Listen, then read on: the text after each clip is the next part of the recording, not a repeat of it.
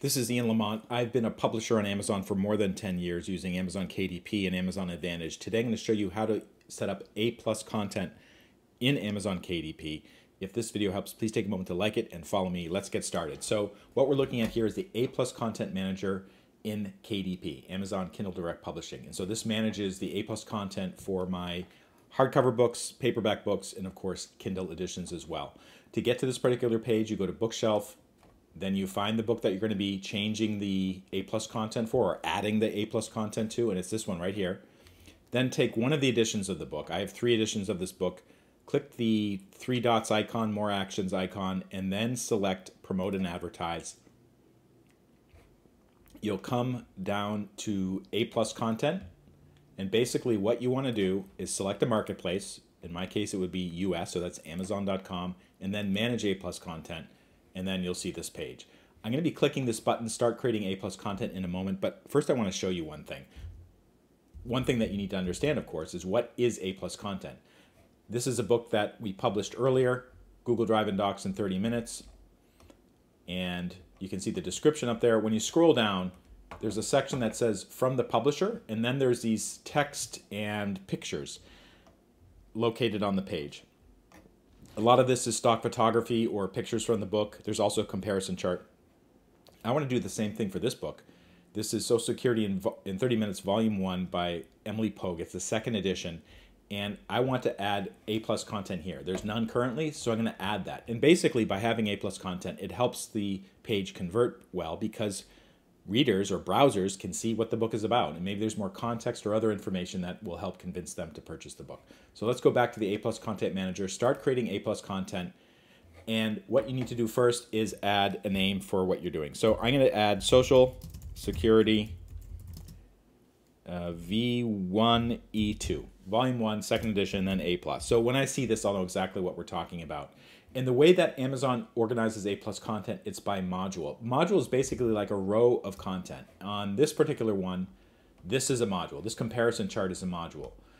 This is also a module, the image on the right and the text on the left. So I'm going to add a module. You'll see all these different options.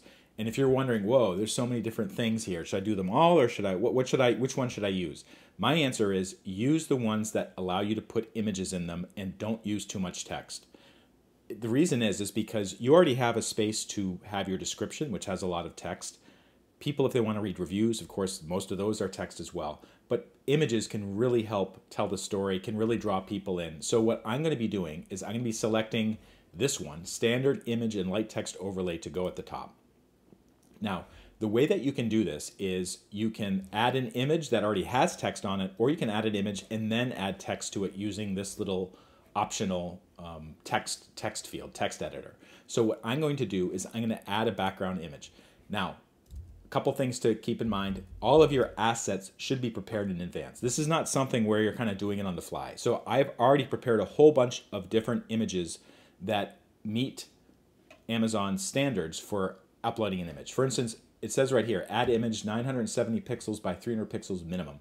So it has to be at least these dimensions to upload it. If it's if it's a uh, more if you have 970 pixels wide and like 500 tall basically amazon will try to put it on the page but in some views it may not be visible. So i already have a couple images that i want to use. This one already has text built into it. So i'm going to use that one. I'm just going to drag it over. And then i'm going to move it down because i want to make sure that this shows up. I think that the other parts of it will show up too including her face when it appears on the page but I just want to make sure that the text is there for sure. And then image keywords, I do recommend using that. And this book is about retirement benefits, so I'm going to say that. Retirement benefits. Okay, and add. I'm going to leave these two blank because they're optional, and basically because I already have text here, I'm going to be okay. Next, add another module. So another module that I want to add is kind of like an image on the left and then some text on the right. So let's see if we can find that. Standard single left image. Okay, it says 300 by 300 pixels, but it can be much larger than that. And indeed, I have an image that is larger than that. And the reason why actually having a bigger image is better is because some people are using big screens, Some people like to zoom in. Maybe Amazon will start showing this content on other types of devices where a big image would be better. So I think don't just do the minimum, try to do even more than that. So let's see here. This image, this is an AI generated image navigating survivor benefits with confidence. I think I'm going to use that one and just drop it in there. And then type survivor benefits. Okay. All right, headline, enter text. So I do have text assets already prepared. I have two, I have actually two different documents that have assets. One is the metadata for the book. It's in a simple text pad. I know that some people use spreadsheets, but I prefer to do it this way. And then these are basically AI generated marketing assets that I used, I generated on another platform, and I can use them for this one too. So, uh, Shimmer AI text assets for volume one a comprehensive guide to mastering Social Security benefits. I think that's pretty good. So let's use that for the headline. And then body text. So if you have if you already have marketing copy, that's fine. Um, I actually might use some of these bullets that I have here. Okay. So I'm going to just paste those right in, and then I'm going to use the bullet maker to bullet them and bold them too. So these aren't too long. I don't like having too much text.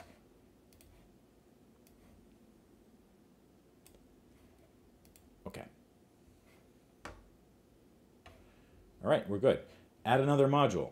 Yeah, why not? Uh, let's see, should we add a comparison chart or something else? Why don't we just start with the comparison chart? I think that's good. Now, the comparison chart is not ideal in some ways first of all, they're showing you five different books to add here, but you can actually have a minimum of two. It says so right here. So what I'm going to do is I'm going to have volume one here and volume two here. I'll need the ASIN for the book. The ASIN for a paperback book is actually the 10-digit ISBN. You can get that right on the detail page for the book. I'll show you. So for this particular book, if I scroll down, here's the 10-digit ASIN. Or if it's a Kindle book, you can just use the ASIN that Amazon provides. ASIN, by the way, stands for like Amazon Single Identification Number or something like that. Title, so I'm going to put the title of the book. As I said, I already have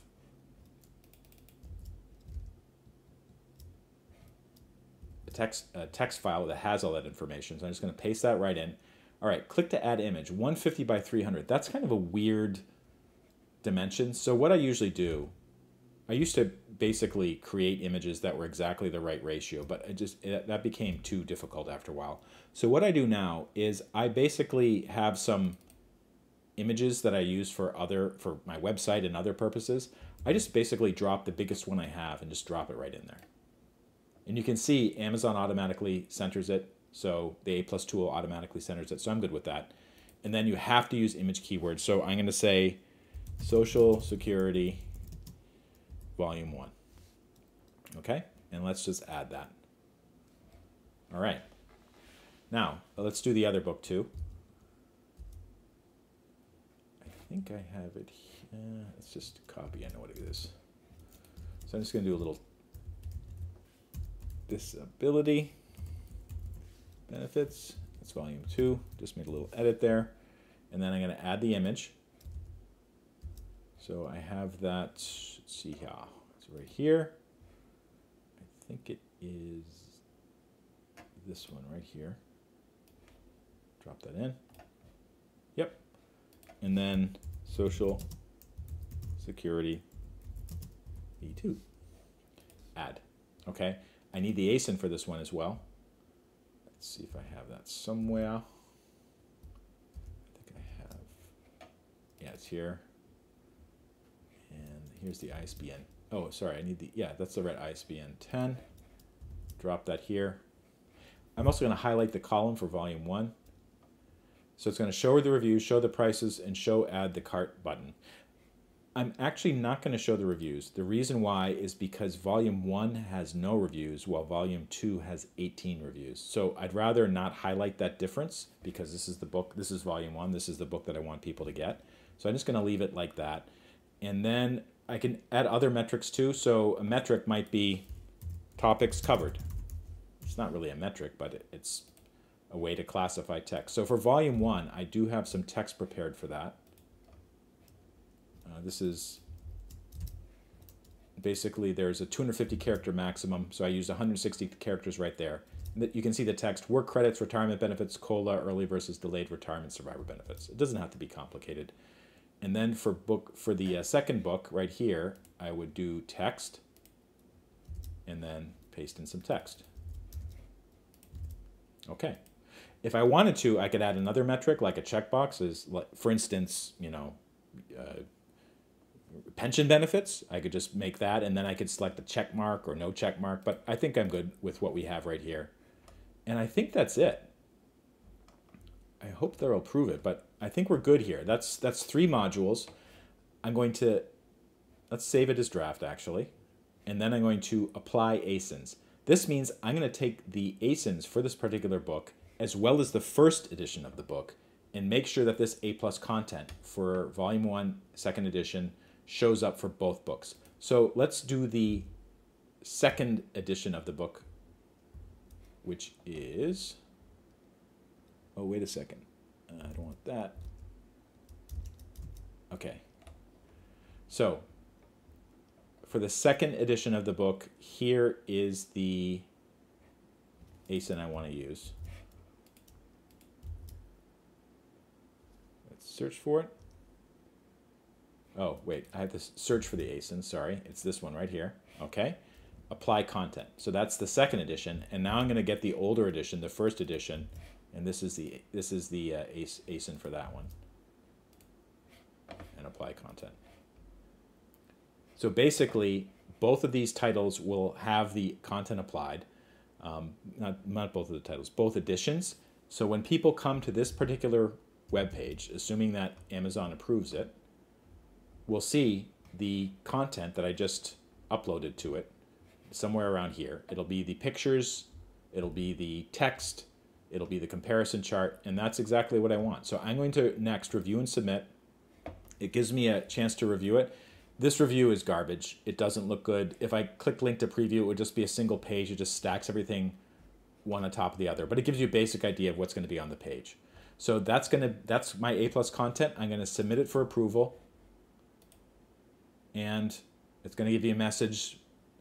Your changes have been saved. Uh, your content was successfully submitted for approval. And I believe it takes up to seven days to get approved. So we'll see what happens with that. But that's the ins and outs of adding A plus content. If this video helped, please take a moment to like it and follow me. If you go to leanmedia.org, that's my official website, click on blog, and you'll see all of these videos and uh, blog posts that I have about A plus content, about selling on Amazon. I've been doing this a long time, not just for publishing, but also for selling on Amazon, and I have a lot of advice to share, and I hope you can check it out. Thanks so much for watching.